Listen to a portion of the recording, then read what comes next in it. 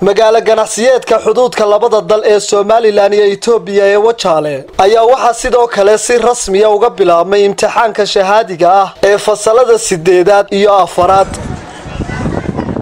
Xogayaha dowladda hoose degmada wajaale cabdilaahi xasan samaale oo ay wehelinayaan gudoomiyaha waxbarashada ee degmada wajaale ayaa kormeer ku tegey goobaha imtixaanku uga socdo ardaydaasi. Imtixaanka shahaadiga ah dugsiyada dhexe hoose dhexe iyo dugsiyada sare ee qaranka jumhuuriyadda somalilan oo maanta si rasmiya guud ahaan dalka uga bilaabmay gaar ahaan degmada tog wajaale inu joognada maanta ka bilaabmaya. Waxaan halkan si gaara uga salaamayaa dhallinyarada ardayda ah ee rag iyo dumarba leh ee sida kalsoonida leh ugu soo diyaargarowday imtixaanka gelistiisa. Wixii laydinku shubayaa laydinka shubayaae macallimiintii idinku shubtay juhdiga iyo farbadan idin soo gelayseen aad baan ugu mahadnaqaynaa anu salaaminaa. Mar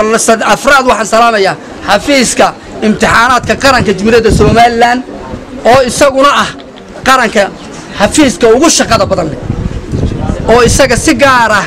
inaynu ugu dacayno loo baahan yahay. Waayo tacabka iyo hawsha ay hayaan sanad walba kumanaan ardaya oo tacab la geliyey iyay culuuntooda iyo cilmigooga baandheeyaan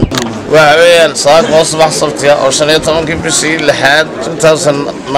waxay noo bilaabi doonaa imtixaankii shahaadiga ahaa ee qaranka waxaa kaloonu sheegaynaa uniformka iyo darayska oo aanu shalayba u sheegnayna iyadana waa in la soo xidho waxaan markaa rajaynaya waxa qodobka ka reebanee ardayga imtixaanka lagaga baabiin kara maadada no grade ku soo bixi kara waxa weeyaan mobilka mobil looma ogola in ardaygu la soo galo goobta imtixaanaadka haddii uu la soo galana maadadaasi saasuu ku waayay imtixaankaasuu ka baaba'aya no grade baanu saa ku qaadanaya. Marka arday kasta oo gelaya imtixaan lama arki kara isagoo mobil sita buug sita waraaqa yaryar sita